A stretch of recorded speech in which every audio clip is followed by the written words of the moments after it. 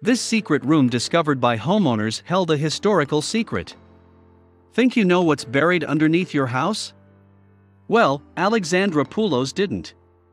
She lived in her home in Lansdowne, Pennsylvania, most of her life, but she never had a clue that there was a huge secret right under her feet. But when some contractors she hired started digging beneath her property, they made a historical discovery. And they weren't the only ones who did. Homes with secrets like this ones have been found all over the country. Alexandra Poulos was tethered to her family home ever since she moved in with her parents back in 1974. And she suspected there was a lot of history here, because it was so close to Philadelphia. In fact, she told reporters in June 2018 When I was a child, I would have random dreams about there being other rooms in the house. I'd look it up on dream meaning sites and people always thought I just had a crazy imagination. It turns out, she wasn't imagining things. At the time of her interview, she was 43 years old and the owner of the property. She told reporters how her aging father signed the house over to her so she could rent it out to a tenant and manage the property. It was during that time that she recalled a neighbor telling her dad that there was another room underneath the basement, but she had bigger problems to worry about. The tenant called and told Poulos that the house's oil tank and walls in the basement had been damaged. So, she immediately hired workers to come fix the damage. But later that night, she started thinking about what the neighbor had told her dad and started digging around on the internet for some answers, and she found some. Poulos called one of the masons at Baldwin Masonry, who she had hired to fix the basement walls, and asked if he could dig deeper. Then she explained how she read online that another house in the area had a secret underground room and was convinced her home had one too. Intrigued by her request, the mason stopped by the next day and did as she asked. A few hours later, Poulos' tenant called her and said, You're not going to believe this. They found it. To which Poulos exclaimed, You're joking. But it turns out that he wasn't. As luck would have it, there was a secret room 14 feet underneath the basement that was used to hide people before the Civil War. The room was designed to hide those people who had fled from their owners. They would often stop in this region before making their way to Canada. In that moment, Poulos realized that the secret room underneath her home was part of the Underground Railroad, so she reached out to the local historical society and learned that Lansdowne was home to well known abolitionists. The room had been closed off from the rest of the house and basement to protect those who harbored the people making their way north towards freedom. But in doing so, these brave homeowners risked facing legal consequences. And yet they felt it was necessary to help others. They would even provide food and water to these wayward travelers.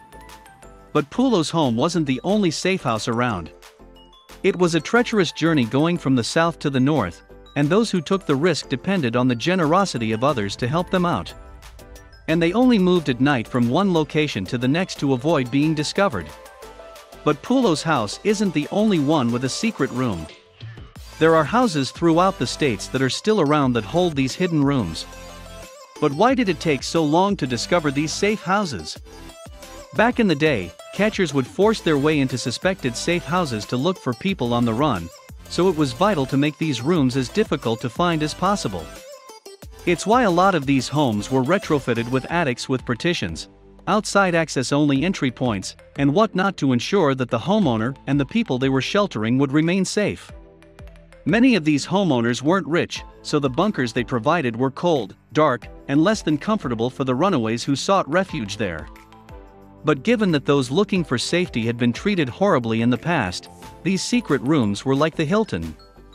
And Poulos' home was part of an even bigger network.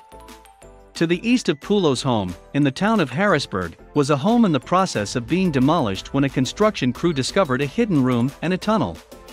It had been under the homeowner's property the whole time and simply forgotten over the decades. According to the construction crew, after we dug that out, we were just standing around talking and the whole side fell down. That's when we noticed the hole. So, the crew called the Middletown Area Historical Society to learn more about what was behind the wall and who used the room by knocking the wall down. But again, this wasn't an isolated discovery. While renovating the Continental Inn owned by Frank and Patty Lyons, contractors stumbled upon a safe house once used by the Underground Railroad. Curious, Lyons used a ladder to climb 10 feet down and discovered artifacts that were at least 150 years old. Since then, he's been removing them one by one and in the process, embracing the past. Everyone always assumed that the Continental Inn was linked to the Underground Railroad, but they needed solid proof, which Lyons has been looking for ever since discovering the secret safe house. But there's a lot of rock and debris in the room that he needs to sift through before he finds the one thing he needs to prove that the inn was in fact used as a shelter. Lyons believes he'll eventually find Caribbean seashell amulets, which people on the run used to keep evil spirits at bay while traveling the Underground Railroad. But the town of Yardley, where the inn is located, has tunnels that link it to other safe houses like a house on Main Street, one at Lakeside Mansion, another at a mill, and one that runs towards the Delaware Canal. So, there are lots of houses in towns near or around Philadelphia that were essentially safe houses, and the stories behind them are unbelievable, which is exactly what people like Lyons and Poulos learned. Poulos discovered that her town of Lansdowne was founded in 1789, but nearly a decade earlier, in 1780, Pennsylvania passed the Gradual Abolition of Slavery Act. This meant that her state had adopted abolition early on, but unfortunately, Pennsylvania was still 50-50ths on the issue. So, anyone who lent runaway slaves a hand had to keep them hidden, which is exactly what the former owners of Poulos' home did. But why did people call it the Underground Railroad? Despite being called an underground railroad, there was no railroad. It was more like a network of people who allowed former slaves to hide in the underground rooms of their homes, like the one under Poulos' basement. By 1850, the railroad ran from the deep south all the way to Canada thanks in part to a former slave named William Still, who established his headquarters six miles from Poulos' home, and was dubbed the father of the Underground Railroad. Men like Still and Thomas Garrett made a huge difference by risking their lives to ensure the well-being of runaway slaves. Still himself ran the Safe House network that went from Philadelphia all the way to Ontario, Canada. And one of his most valuable contacts was Garrett, who was questioned many times over about his role in helping slaves escape. It's not that he was breaking any laws, but the stigma around the issue at the time didn't make him very popular. Although northern people disliked the thought of slavery, many of them didn't want to coexist with Africans and African Americans, so life was tough for people even in Delaware County in Pennsylvania. Many had their voting rights taken away from them, and their movements were monitored by town officials. And if that wasn't bad enough, they were often assaulted or ran into race riots, which is why the Underground Railroad continued helping these people move further north, which upset Southerners. Southerners weren't happy that the North had been helping their slaves escape, which led to the second fugitive slave law being passed that made running the Underground Railroad more dangerous, and yet, Still and Garrett's mission did not waver. But the difference of opinion between the free and slave states was destined to ultimately trigger the Civil War in 1861. And the movement was already having problems 11 years before that happened.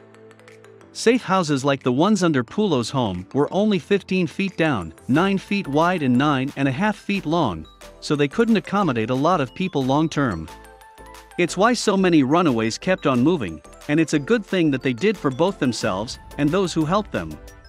The Fugitive Slave Act of 1850 stated that anyone helping slaves escape would get fined $1,000 and face up to six months behind bars. It's why the former slaves opted for Canada, whose laws towards blacks were far more merciful. Unfortunately, some allies paid the price along the way. In 1848, a complaint was issued against Garrett for helping a family of former slaves escape the state of Maryland. And while facing a jury of his peers, he gave a touching speech to appeal to everyone's humanity. One juror even begged for mercy, but the judge ordered that every dollar Garrett owned go to the master who had lost his slaves, essentially leaving Garrett penniless. But he swore he wouldn't give up, which put him in serious danger. Many of his enemies in the South put a $10,000 bounty to catch Garrett helping slaves escape. But despite a close call with a group of bounty hunters whom he invited to dinner to change their minds, Garrett was able to continue to fight the good fight until the Constitution guaranteed the rights of black people. But no one might have even remembered what Garrett did if it hadn't been for his friend, Still. The reason we all know about what heroic pioneers like Garrett did for the Underground Railroad is thanks to Still, who kept impeccable records of the events. In fact, after the Civil War ended, he wrote the Underground Railroad, which provided a lot of the information we know about this incredible movement. And the room in Poulos' house offers even more insight into this pivotal moment in American history. The safe house in Poulos' home is a tribute to what happened before, during, and after the Civil War. And now that it has been discovered, we're learning more about why the Underground Railroad was so important to ensure the safety of those who were looking to find freedom from slavery and persecution.